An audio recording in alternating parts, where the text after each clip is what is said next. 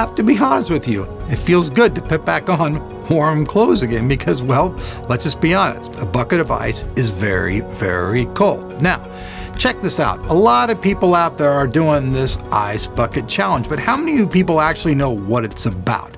Do you really know what it's about?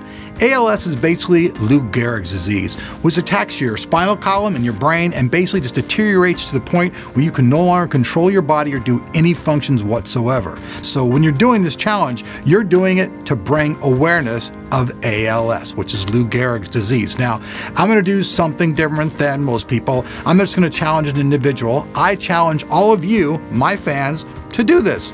And also, the first three of you guys that actually do it and make a film and send it in to us, we're to give you guys a shout out on our channel. And We're also to donate $50 to the cause in your name. With that said, welcome to Tech Tomorrow. I'm glad, like I said, to get my warm clothes on and let's jump in today's news stories. Now, while we're on the subject of ice and all that, this next, you know, news story actually involves, well, you know, basically cold and ice again. And it's, though, different. It's with overclocking. So if you're an overclocker, Give a thumbs up for that.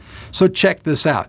Chi Kai Lam of China has achieved the world's greatest overclocking with a Haswell i7 4770K. That's right, 7.1.93, almost 7.2 gigahertz of an overclock on this dang thing. It's just incredible how he did this. Now, obviously, to achieve this, it's not the same as, you know, your daily just overclocking. This guy had to use dry ice, he had to disable some cores, had to disable hyperthreading, and at the end of the day, obviously, for anybody at home use, this is a complete waste of time. But still, it's good to see that how far you can push this equipment and how well it'll do. Now, they achieved all this on an Asus Maximus G motherboard. And if you guys know what this is, this is a little tiny little motherboard. Overclockers love this thing. Me and Anthony loved ours. In fact, uh, we fried the crap out of ours doing some crazy overclocking, and it works just really well.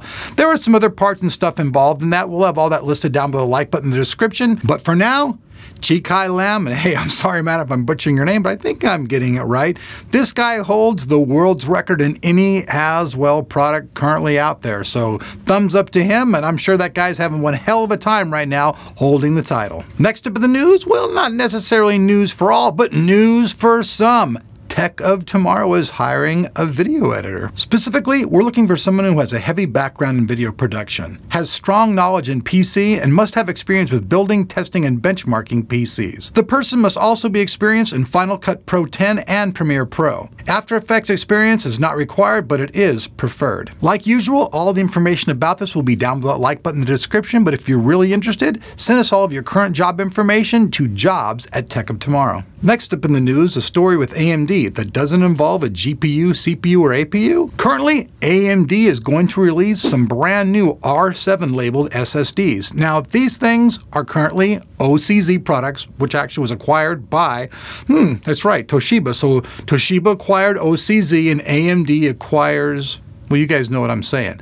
So these guys are going to have a whole line of drives coming out now. There'll be a 120, 240, and 480 gigabyte drives. These things will have a read of 545 and a write of 530, and they come with a four-year warranty. So all in all, AMD is looking to have some pretty cool products. I know a lot of fans out there want everything to match all red and black. Well, baby, you're going to have that stuff really soon. Now, this next story is for both mobile lovers and for those who are in love with Windows stuff. So what am I talking about? Well, you guys all know the HTC M8, or the Mate as I like to call it, came out to a well-received audience. People loved that phone. We reviewed it. You guys seem to like it just as well. Well, now these guys aren't releasing quite a new phone, but they are releasing a version of it that's not running the Android OS. It's running Windows 8.1. So if you're a guy out there, you like the Mate, but you really weren't too into the Android OS and you like the Windows stuff, well, guess what, man? Your day hath arrived. Our last story of the day. I know you guys are going to like this one. Drum roll, please. Ah. AMD lowering its prices on September 1st. Let's talk about it. The move is designed to make the FX series more competitive against Intel's Core i3 and Intel Core i5 products based on the Haswell refresh and the Devil's Canyon designs. The price of the AMD FX 9590, which currently retails for 225 pounds, will be dropped to 175 pounds. And the price of the AMD FX 6300 with its 6 cores will reduce to around 70 pounds. Now the price we quoted are in pounds. We're not going to translate that directly into American money due to the fact that these things could fluctuate and change, but regardless, for AMD fans, prices dropping is always an awesome thing. Well, all right, fans, that about wraps up today's video. Thank you all very much for being here. Like usual, all the information that I talked about will be down there below that like button in the description where it says show more. Just click on that and everything will be down there below.